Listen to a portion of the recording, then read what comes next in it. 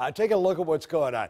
No precipitation for a while. We did see a couple of flurries uh, every now and then. Now, the, the, the, Alexa thing was in re reference to the uh, laughter that was coming out of the uh, box for some reason. Anyway, clearing and cold overnight. The storm that moved through us on Monday night is way out up into Canada, and it's stopped. But it's just basically spinning in motion out there. And for now, again, we did have a few flurries into the area earlier in the day over the eastern shore, mainly into North Carolina, and just a flurry or two during the uh, uh, during the afternoon into the Hampton Roads cities. Skies will end up being mostly clear overnight. It's going to be cold though, especially that wind out of the west and then becoming southwesterly.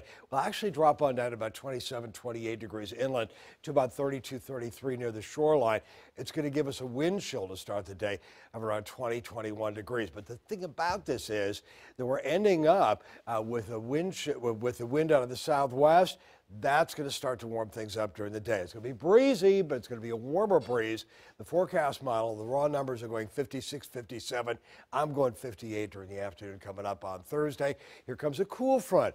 Going to get cold again. Well, it'll drop a few degrees coming up for the day on Friday. We'll see a high of not uh, 49, 50, 50, but I think closer to 53 degrees. That 53 degree reading, I think we'll move it a lot closer to our area coming up for the day on Friday. So 58 tomorrow, breezy, 53 degrees on Friday. How about Saturday? Well, let's go into Saturday morning. All is quiet.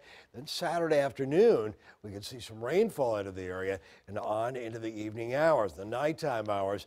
And finally, a little bit more rain coming up on Sunday during the morning hours, uh, but coming to an end by Sunday during the afternoon hours. So again, clearing, cold, breezy overnight, 27, 28, 29, inland around 33 along the coastline. Still rather breezy, if not out and out windy. Uh, during the day tomorrow, it'll be breezy. We'll see a, a, a stray cloud or two, but basically uh, lots and lots of sunshine, 57 to 60 degrees, southwest winds at 10 to 15, and a little bit gusty at times. Here's what things things are for the peninsula 54 to 59 degrees. Uh, we'll average things out around 58, rather breezy. 53 degrees coming up on Saturday. Uh, uh, on Saturday, it'll be 50 degrees with some rain at the very end of the day, and that could last into the nighttime hours. And as far as an AM shower on Sunday, it would likely be into the pre dawn hours.